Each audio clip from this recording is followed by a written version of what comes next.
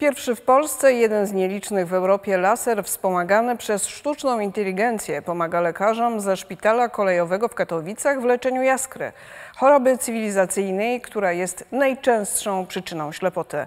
W Polsce cierpi na nią ponad 800 tysięcy osób. Pół miliona spośród chorych nawet nie wie, że powoli ślepnie. Magda Sincewicz.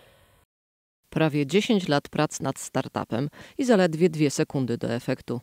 Tyle właśnie trwa działanie lasera podczas zabiegów w innowacyjnym leczeniu jaskry. Pierwszy funkcjonujący w Polsce i jeden z nielicznych w Europie. Autonomiczny laser wspomagany AI Eagle izraelskiej produkcji wykorzystywany jest z sukcesem w katowickiej placówce.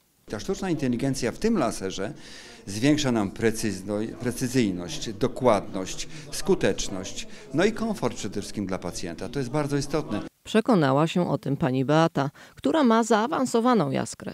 Dowiedziała się o niej przypadkiem, podczas rutynowej kontroli. Wysokie ciśnienie w gałce ocznej dawało o sobie znać wcześniej, objawiając się obfitymi bólami głowy.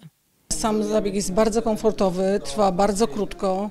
Myślę, że to jest też świetna alternatywa dla innych tradycyjnych zabiegów. Jest praktycznie bezbolesny. Sprzęt jest łatwy w obsłudze. Laser wyposażony jest w technologię śledzenia ruchu oka, która pomaga mu trafić w obszar leczenia za każdym razem. Nowa technologia nie tylko zwiększa skuteczność terapii, ale także czyni ją bardziej przystępną i łatwiejszą do wykonania.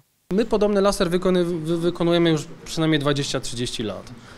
No tylko y, do tej pory to pacjent musiał usiąść przy aparacie, musieliśmy znieczulić pacjenta, założyć rozwórkę, ustawić tą rozwórkę, przepraszam, nie rozwórkę, tylko soczewkę nagałkową, musimy, musieliśmy ustawić tą soczewkę i kontrolować mm, laser, parametry lasera, ale również i ustawienia lasera, czyli w stosunku do tkanki, którą my chcemy powiedzmy zaatakować.